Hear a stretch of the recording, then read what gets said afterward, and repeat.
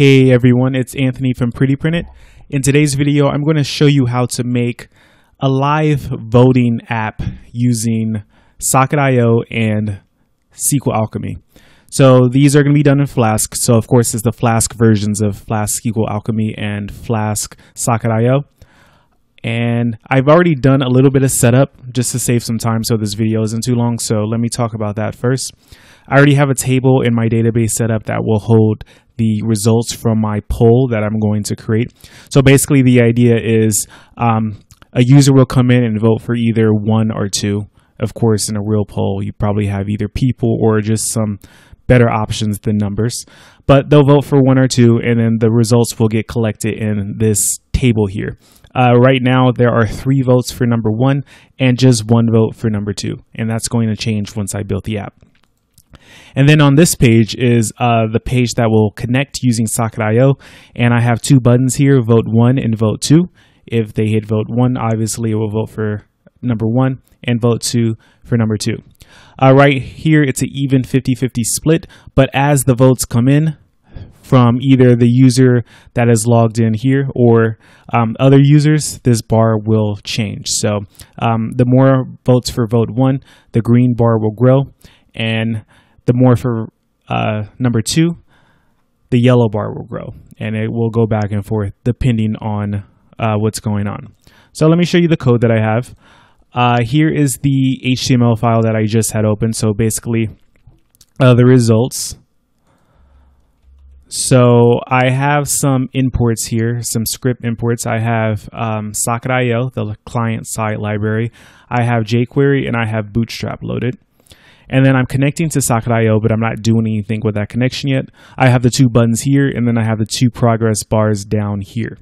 And then in my main file, uh, my Python file, I'm setting up Socket.io and SQL Alchemy. Um, I'm connecting to a database here um, to the table that I just showed you.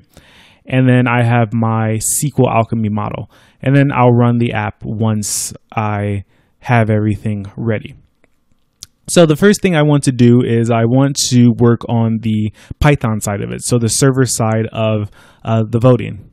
So what I'm going to do in this one, unlike the last video, I'm going to use my own custom event. And this event is going to be a vote event. So I'll create the decorator, socket.io.on, and then vote.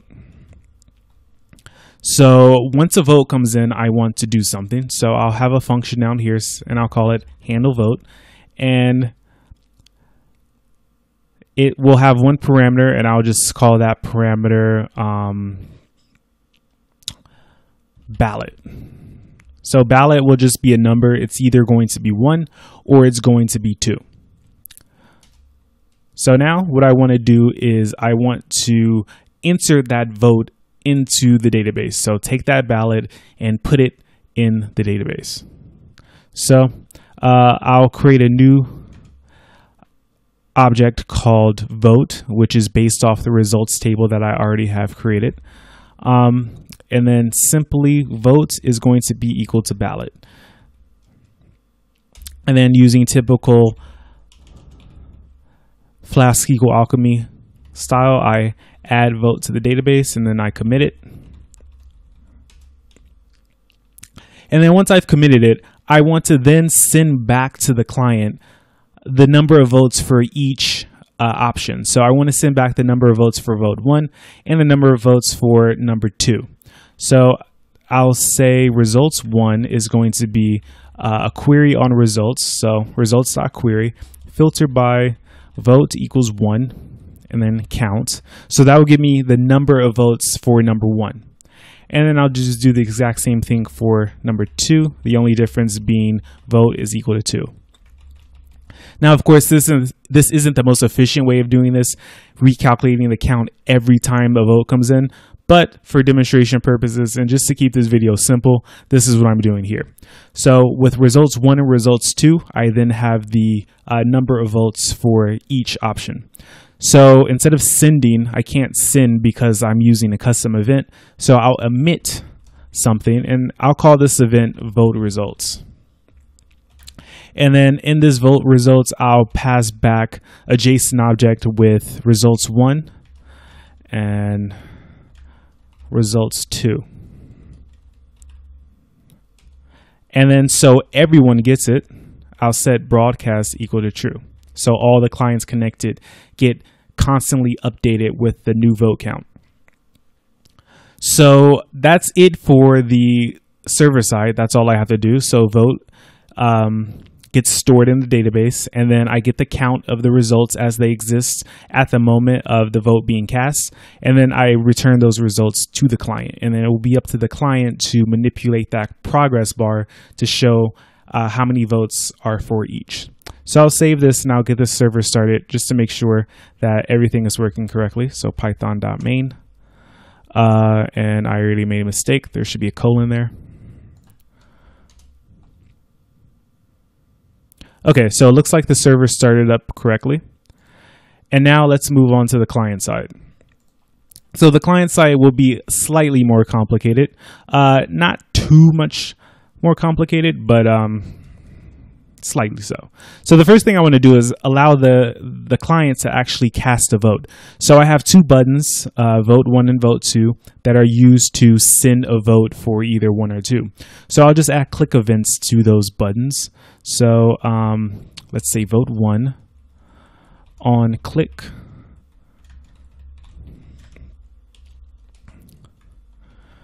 So here I want to emit my vote event so it gets picked up by the server, and I want to send the number one over. Pretty simple. I'm voting for number one. And vote two is pretty much the same thing. There's, they're pretty much the same function. And then socket.emit a vote and two. So when I emit these votes on the server side, it gets picked up here because it's listening for a vote event and then it runs this code down here. So I can test that now. So I'll save this and I'll refresh. And right now in my database, let me refresh this. I have uh, three votes for number one and just one vote for number two. So I'll cast another vote for number two. Vote two, and let's see if it uh, was inserted into the database. Refresh. And there we go. Okay, so another vote was inserted for number two. So I'll hit vote one, two, and two. So I just added one vote for number one and then two more votes for number two. So I'll refresh this and I see one more for vote one and two more for number two. So it's inserting into the database correctly. Now the last thing I need to do is actually listen for that that uh, that vote results, and from there I can manipulate that progress bar to show uh, the current vote progress. So I'll create um, a listener for vote results. So socket on vote results and then function. And I'll just call the uh, parameter results. It's going to be a JSON object. So Flask Socket.io will automatically convert this dictionary into a JSON object for you. So with results, uh, the first thing I want to do is get the total number of votes that have been cast. So I believe it's eight. I'm not going to use the primary key to count it. I'll just sum the number of votes for number one and the number of votes for number two to get the total. But there should be eight. So I'll create a variable, I'll say total votes, and it's going to be results dot, um, what did I name it? Uh, just results one. So results one plus results dot results two. So that gives me the total number of votes that were cast. And now what I need to do is I need to figure out the percentage um, of votes for each one. So let's say there are five votes for number one and 10 votes for number two, then 33% of the results will be for option one and 66 for option two. So I want to figure that out so I can pass it to the progress bar and manipulate the, the size of it so I can see the results. So to do this, uh, I'll say um, 1% is going to be the percentage for option one. So it's simply math.round, and then I'll take uh, results dot results one. I'll divide that by the total votes, and I'll multiply it by 100 to give me an integer that I can then convert to a percentage in the CSS. And then 2% is simply 100 minus 1. So I don't have to do a separate calculation for number two. And then the final thing I need to do is I need to change the CSS on those um, results progress bars. So I'll do results one CSS width is going to be 1% plus percent. And then results 2 dot CSS is going to be 2% plus that. Okay, and I spelled this wrong. But that should be it. So this should be enough to listen for the vote results and then to uh, manipulate that progress bar. So I don't have to restart the server, I just have to refresh.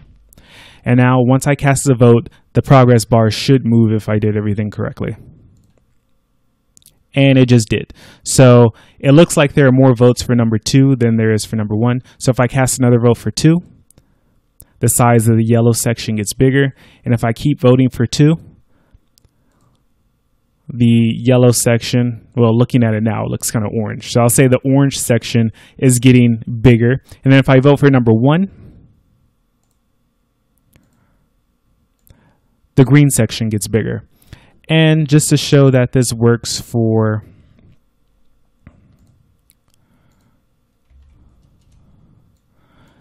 just to show that it works for multiple clients, let's say this one votes for number one. You see how they both start changing at the same time. So if you were really making some kind of polling app, you'd probably only allow a user to vote once, of course. And then if you wanted to, you can always have the results update for that one user, even though they can't vote again. But they can see uh, the results change as other people are voting, which would be a nice feature if you figured you had to create something where a lot of people would be voting for something in a short amount of time. Probably wouldn't work too well if the polls were open for a really long time. But if it was like an hour or so and there were a lot of people voting, this would be cool to see the progress of the votes. So that's basically all I want to show you. I just want to show you how you can kind of combine Socket.io and SQL Alchemy. I mean, there's no magic combining them, but you can use them both at the same time to create um, an app with more functionality. So that's it for this video. If you have any questions about using either Socket.io or SQL Alchemy, just leave me a comment down below. If you like this video, please give me a thumbs up. And if you haven't subscribed to my channel already, please subscribe. So thank you for watching this video, and I will talk to you next time.